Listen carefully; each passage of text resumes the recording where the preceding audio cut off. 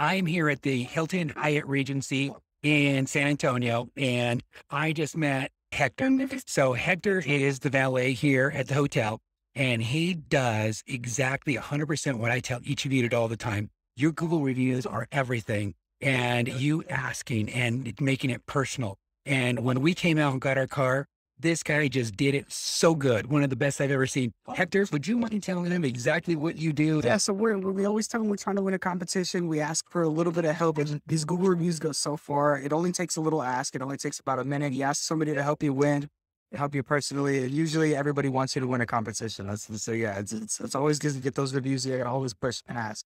And you got a little QR code. So yeah, we got the little QR code. People just have to scan it and it's real fast and easy. All you have to do is just ask someone to mention your name and he had me and my wife both scan, and he's going to get two amazing reviews from us right now. Hector, do me a favor, hold your QR code. So this thing is scannable. I want you to say that Hector is the best dude at the Hyatt Regency, and he is awesome. And guys, tell your people do this all the time because it makes a difference.